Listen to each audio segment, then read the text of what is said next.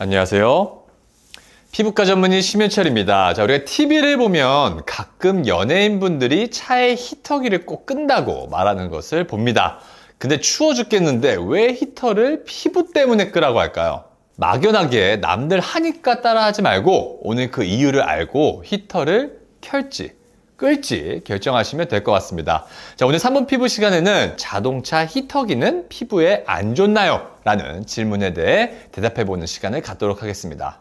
자, 자동차 히터기로 나타나는 피부 현상에 대해 먼저 알아보면 자동차 히터기를 틀게 되면 밀폐된 공간이므로 온도가 쉽게 잘 올라가게 됩니다. 이때 나타나는 현상을 간략하게 말해보면 온도가 증가하게 되고 또 습도가 낮아져서 건조하게 됩니다. 자, 그럼 나타나는 현상들 중에 첫 번째는 온도 상승으로 인한 피지 분비량의 증가입니다. 자, 우리 피부는 온도가 높아지게 되면 온도 1도당 피지 분비율이 10% 정도씩 증가하게 됩니다. 두꺼운 메이크업을 한 상태에서 피지 분비량이 증가한다면 피부 안쪽에 피지 저류가 생기면서 화이트헤드나 여드름 발생이 잘 생기겠죠. 자, 하지만 우리가 장시간 운전하는 게 아니라면 사실 온도로 인한 피지 분비량의 증가가 큰 문제는 아닙니다.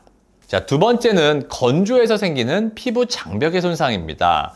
습도가 낮아져서 피부가 건조하게 되면 피부 장벽이 굉장히 손상받게 됩니다. 자, 피부의 가장 바깥층에 있는 가장 중요한 방어선이 바로 피부 장벽이고 제가 지붕, 루프에 비유하는 것을 좋아합니다.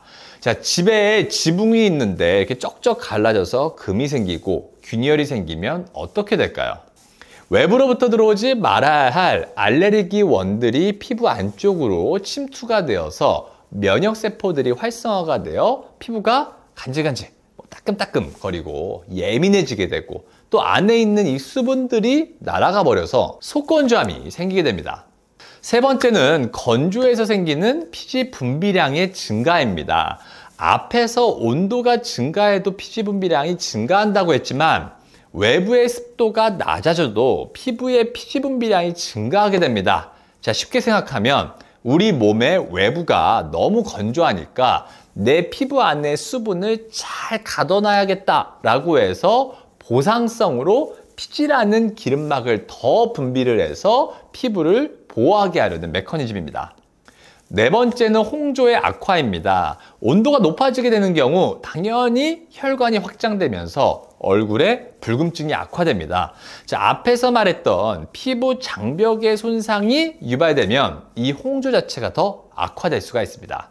또한 히터를 트는 경우가 당연히 겨울철이기 때문에 겨울철에 차 안에서 온도가 높아서 혈관이 확장되었다가 또 밖에 영하 날씨에는 바로 나가면 혈관이 수축하게 되는데 이러한 피부의 극단적인 온도 차이는 홍조를 악화시킬 수가 있습니다. 다섯 번째는 공기 필터가 깨끗하지 못한 경우 바이러스와 세균이 침투되는 경우입니다. 자, 히터기의 공기 필터를 충분히 관리한 상황이 아니라면 앞에서 말한 피부 장벽이 굉장히 약해진 상황, 지붕이 무너져 있는 상황에서 바이러스나 세균이 피부로 더 잘 침투가 될 수 있으므로 피부에 모낭염과 같은 트러블이 잘 생길 수 있습니다. 그러므로 히터기는 온도를 너무 높이지 말고 적당히 환기를 하면서 운전하고 자동차의 공기 필터는 오염되지 않도록 체크하는 것이 좋겠습니다. 지금까지 연세도세 피부과 원장 심현철이었습니다. 감사합니다.